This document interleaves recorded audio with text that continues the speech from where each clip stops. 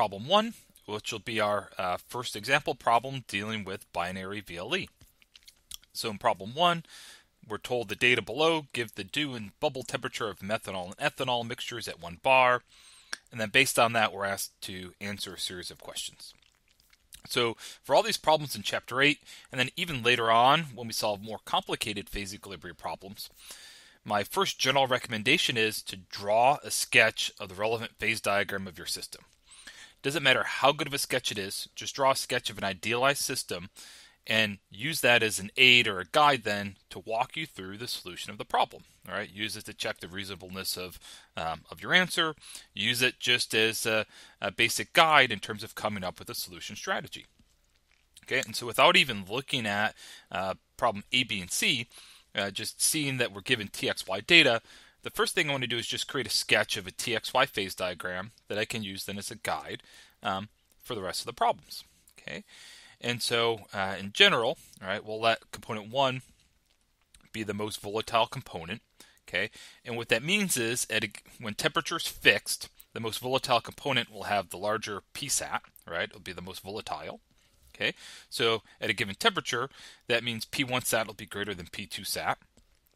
Uh, if we fix pre- pressure, as we do here in our TXY, then for given pressure, it'll have the smaller uh, T1 T1 sat will be less than T2 sat, right? It'll be have the smaller pure component saturation temperature uh, at that pressure, right? It'll be the easiest uh, to boil. Okay, so if component one's my least volatile component, okay, and I sketch my TXY phase diagram,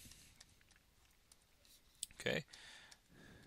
I'll draw a reference vertical line corresponding to pure component 1. All right, so this would be pure 1, x1 equals y1 equals 1. Then the far extreme, all right, we'll have pure 2. Okay, so in a TXY phase diagram, pressure is fixed. Okay, pressure is fixed. I need to fix pressure so I can represent my um, system on a two-dimensional figure. Okay, um, so if I have a binary system um, in a single phase, I have three degrees of freedom. So in order to be able to represent that on a two-dimensional surface, I need to specify a degree of freedom to limit it down to, to 2. Okay, and so in a TXY, uh, we specify P. Okay, so all right, so uh, TXY phase diagram, uh, component 1 being the most volatile component, we'll have the smaller pure component saturation temperature. So I'll label T1 sat down there. Up here, this will be 2 T2 sat. Okay. And then I'll draw in my phase envelope. Okay.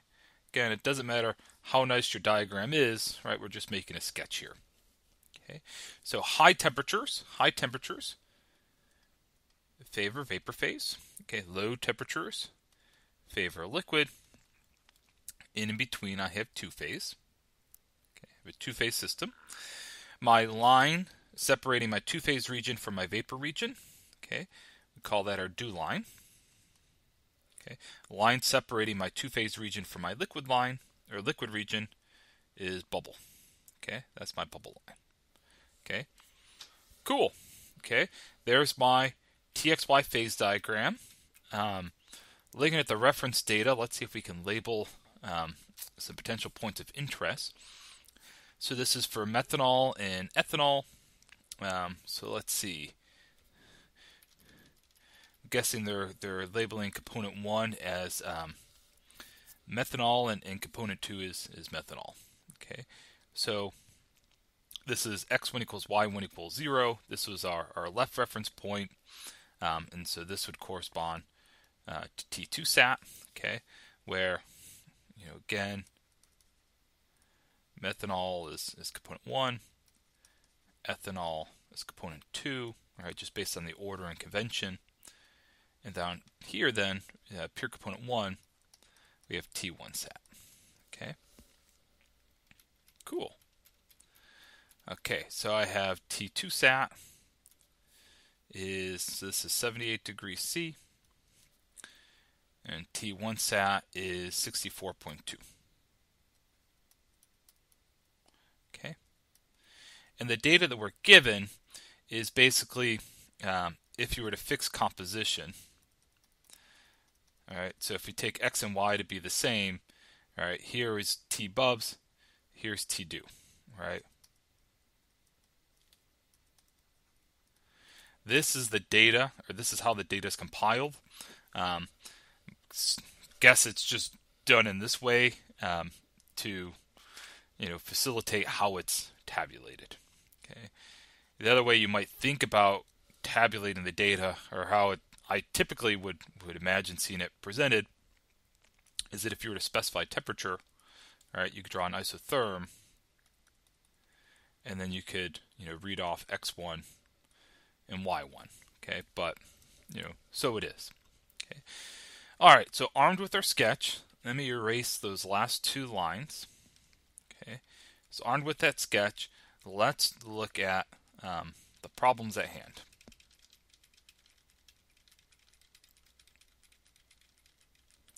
All right, so problem A. We're told that a solution containing 30% uh, methanol by mole, so um, is flashed to one bar, 70.82 degrees C. Determine the phase of the system. If two phases, report the composition and relative amounts um, of each. Okay, cool. So one bar, right? The significance of that is just that's just the pressure uh, which we're provided with VLE data, and so um, we're going to flash it at 70.82 degrees. Okay, so what do we have here? So um, again, we're you know we're just interested in, in drawing a sketch. Okay, so I'm going to have say Z1. I'm going to have a mixture of composition 0.3 mole fracs. Okay, and I'm going to heat it up until it is um, 70.82 degrees C. Okay, so you're going to heat it up to 70.82 degrees C. So then my question is, um, is 70.82 degrees C, does that put me in my two-phase region, or am I going to be in my liquid region or my vapor region? Okay, so in A, the first thing I want to do is check my phase. Okay, and so how I'm going to do that is remember we said the way the data is tabulated is that for a given composition, um, it provides uh, T bubs and, and T dew, right? It provides those two uh, points of interest here. So if I look at you know, x1 or y1 is, is 0.3, okay, I get T dew and I get T bubs, okay. So I get that. Yep. So T dew is equal to T bubs. I apologize, I got to scroll up again. um, so for point B, T dew is 74.70. Okay. T bubs is 73.19. Okay. Okay, and we're heating up to 70.08 or 70.82 degrees. Okay, so my system, all right, is going to be found on this vertical line. All right, my system is found on this vertical line, this line of z1 equals 0.3, right? So if I draw this vertical line um, in my system, okay, where this vertical line crosses my bubble line, right, is going to correspond to 73.19 uh, degrees C, okay. Where this vertical line crosses my dew line, that's going to be 74.70 degrees C, okay, cool. Well, I'm taking my system and I'm only heating it up to 70.82 degrees C. So for a mixture of composition 0.3, my temperature is less than T bubs. Okay, we get the T is less than T dew. Okay, so what that means is, therefore, all right, we have a liquid. Okay, so what that means is I have a liquid. Okay, I'm going to be below my bubble line. So in terms of answering the question, determine the phase of the system. The phase of the system is going to be liquid, and it would just be a composition of um, 0.3 mole fracs. All right, so this one isn't interesting necessarily by any means. Okay, cool. Okay, let's look at the next problem.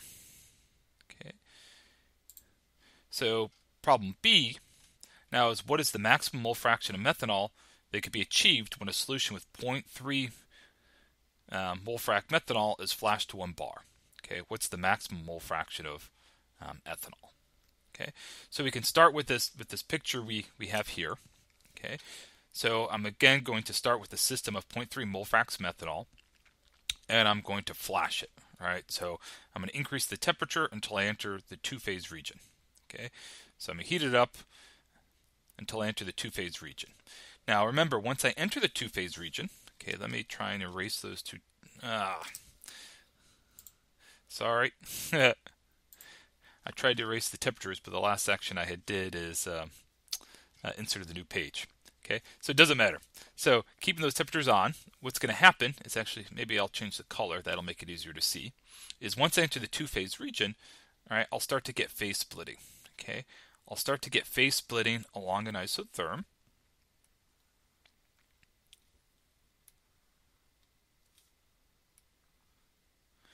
Where I read off vapor compositions from my dew line, liquid compositions from my bubble line, right?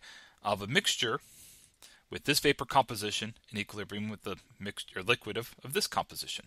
All right, and then the general idea is as temperature increases, Y1 decreases. Okay, as does X1. All right, but X1 decreasing is equivalent to X2 increasing. All right, so as temperature increases, Y1 is going to decrease. Okay, where do you get your maximum Y1? Your maximum y1 happens at your bubble point. Okay, so your bubble point is the point at which you know I um, hit my bubble line. Okay, and at my bubble point, x1, the composition of my liquid phase, is equal to my um, original starting composition. Right, x1 is equal to z1, and so this would give us y1 max, the largest possible y1. But if you were to go and do your your mass balance, you're not actually going to have any vapor phase coming off the top, right? You're still everything that's going in is coming out liquid, right? This is essentially a theoretical limit.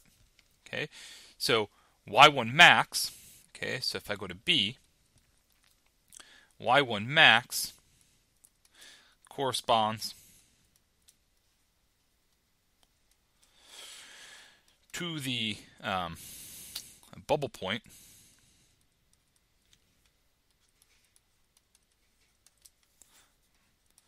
for z1 equals 0.3. All right, so how would I go about doing this? Okay, well, okay, it, again, it's just complicated by the way the data is presented.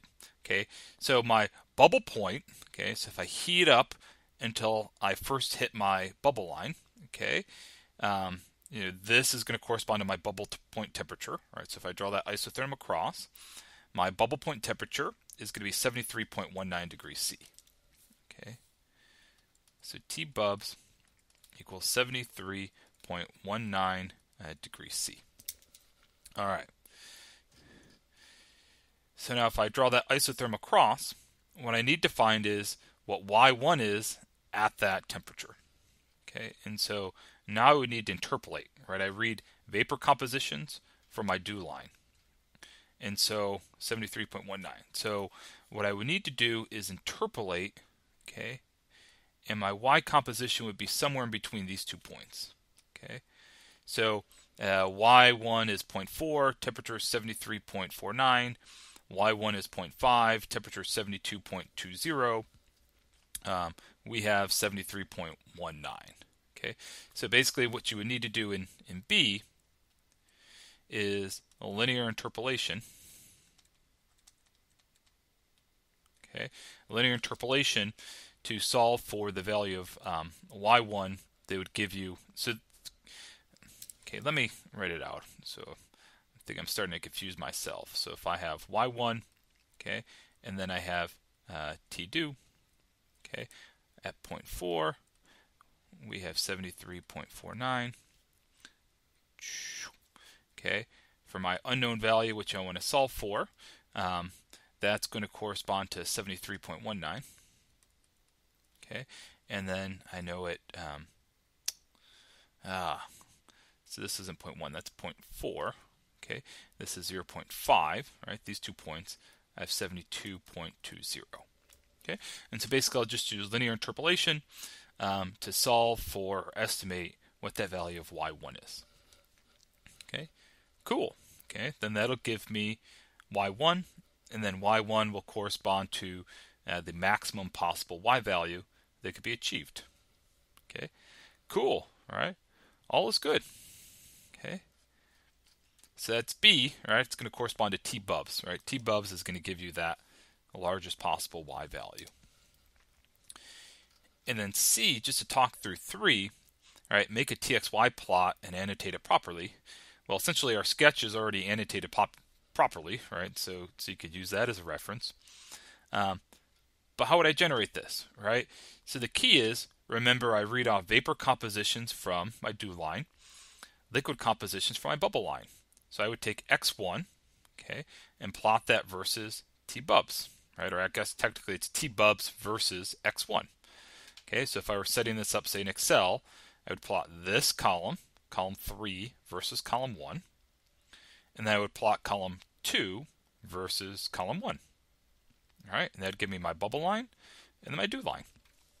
Connect those points via a line, annotate it, and you are good to go. Okay, so that's problem one. Hopefully that helps and you are able to solve it.